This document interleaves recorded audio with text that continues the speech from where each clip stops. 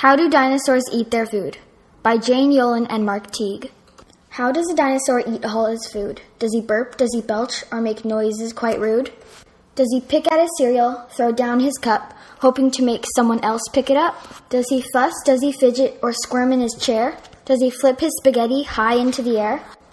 Does a dinosaur glare? How does a dinosaur eat all his food? Does he spit out his broccoli partially chewed? Does he bubble his milk? Stick beans up his nose? Does he squeeze juicy oranges with his big toes? No. He says please and thank you. He sits very still.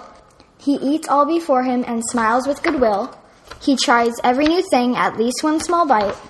He makes no loud noises that isn't polite. He never drops anything onto the floor, and after he's finished, he asks for some more. Eat up, eat up, little dinosaur.